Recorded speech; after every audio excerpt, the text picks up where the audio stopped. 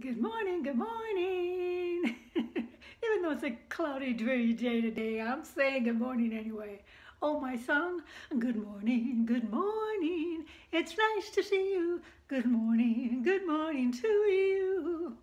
Okay, this is going to be a super quick video because when I showed you this earring, I never really told you what it reminded me of.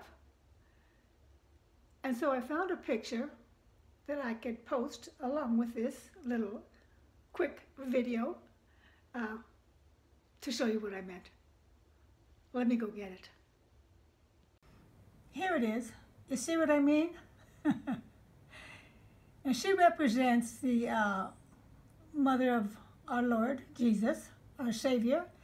And uh, this is her picture from an appearance that she supposedly made in Guadalupe, Mexico. So they call her uh, Our Lady of Guadalupe.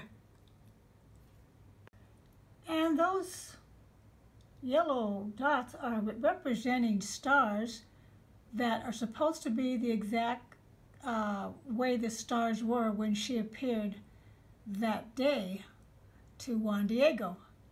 And then on her dress are hillsides of the actual surrounding area where she was uh, appearing. So it's kind of interesting. So it's something you can take or leave. It has nothing to do with affecting our salvation from Christ Jesus. Okay. anyway, that's why I found that earring interesting, uh, intriguing, or whatever, that I would see that.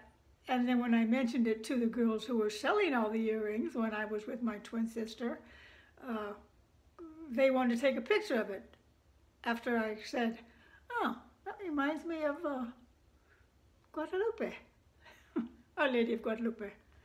Anyway, that's all this video is about. I've got uh, four other videos in the can ready to show you gals. And uh, let's see, I've got a kitchen organization, uh, what I ate for a week, both requests, and uh, stuff like that.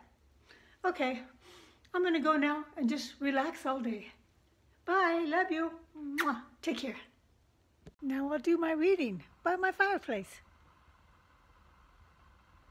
Nice and cozy. Bye.